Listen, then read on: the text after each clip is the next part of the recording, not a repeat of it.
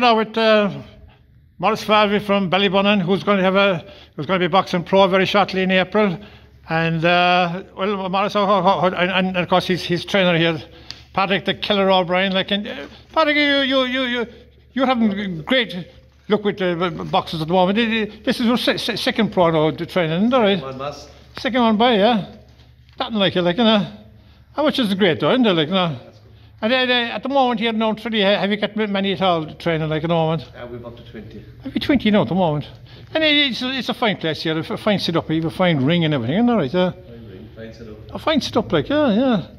So it's uh, it's the way for forward, like, really, isn't it? Like, you know. Yeah.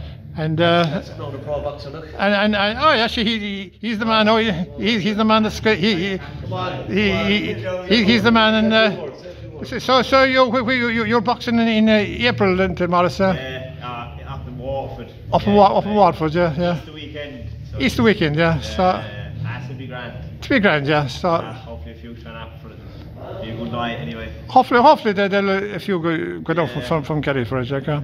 So here, so we're wishing you all all the best, all in, in, in the future. Okay, my friend. Okay, bye, thank you. bye, bye.